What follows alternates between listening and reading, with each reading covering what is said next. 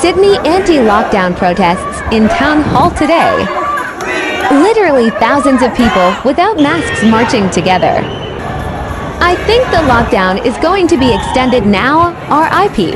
Protesting is just going to make this worse.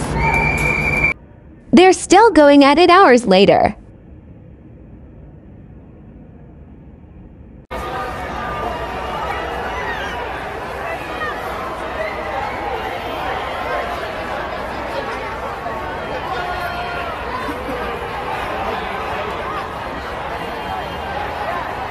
Who left the gate open?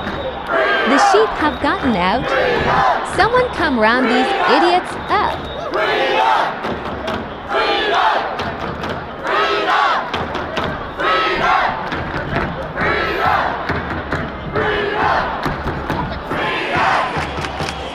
Sydney enters its fifth week of lockdown, it's clear a portion of the population don't believe it's justified.